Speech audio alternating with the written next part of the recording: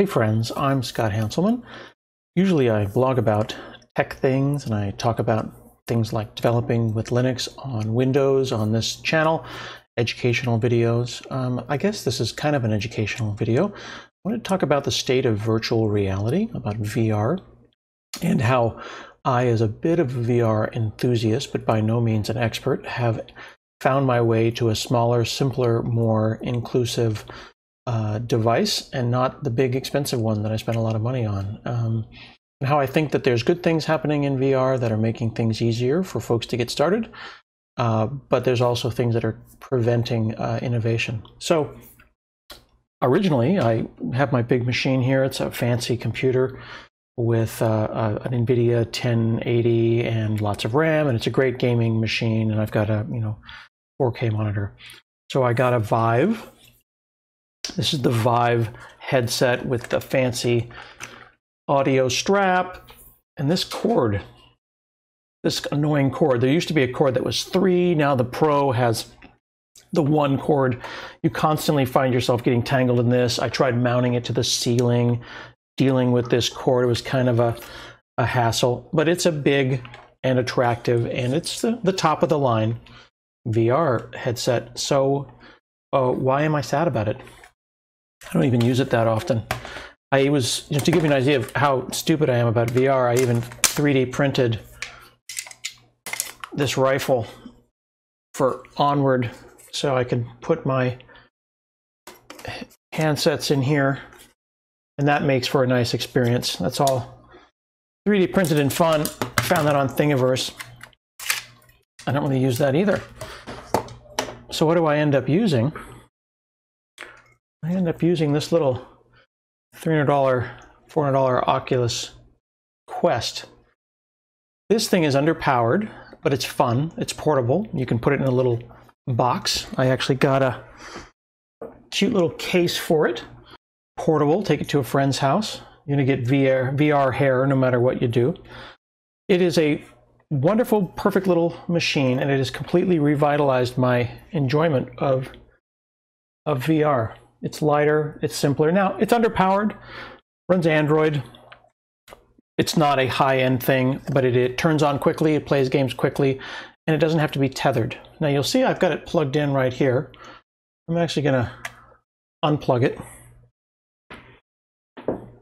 You can use a thing called Oculus Link Beta, uh, which lets you use a USB cable, USB uh, 3 cable, as a kind of fake HDMI, and you can go and buy a nice Anker USB-C to USB-A cord if you'd like. But what I've discovered is this thing called virtual desktop. So we've got Steam, of course, where all of our great VR games are. And Steam has the Steam VR application. So I'm going to just but this, there's no good way to do this, by the way. You look like a dork no matter what you're doing, so just bear with me. So here's the part that's interesting. I'm not connected with a wire right now.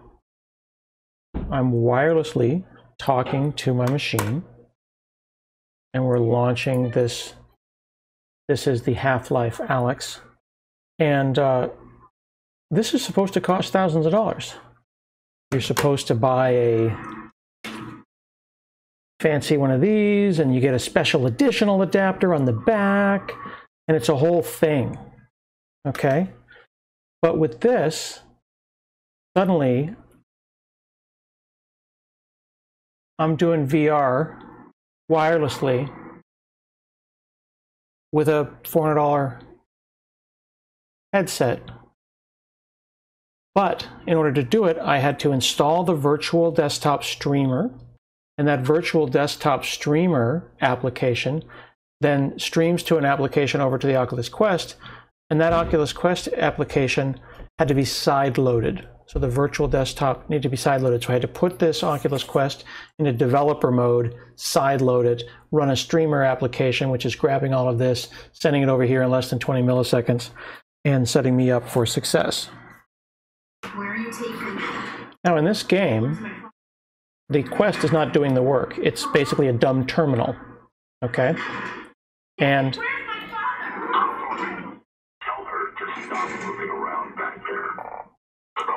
So my PC is doing all the work. So you can use the Oculus Quest in a uh, as a local standalone device, and you'll get good quality. But with this virtual desktop application, it's amazing.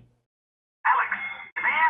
You've got to get moving. Russell, I've been in an accident. I know. I caused it. So technically, not an accident. You've got to get moving. So that's okay. Now in this case, Well, no. You're not. I can do it seated, or I can stand up and I can look around.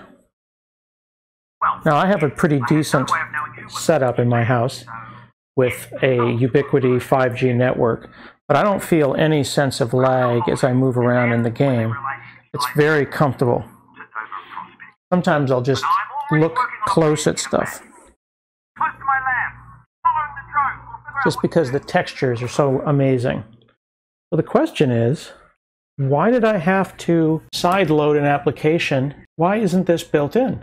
I can only assume that it's organizational willpower because this is pretty amazing and it should be built in by default. What I do want to say is that I've been absolutely impressed with the quality and the style and the ease of use of this just as an Android device. I had no idea that with minimal effort I could go and get it working wirelessly, which is more than this can do without its add on pieces. Now you can,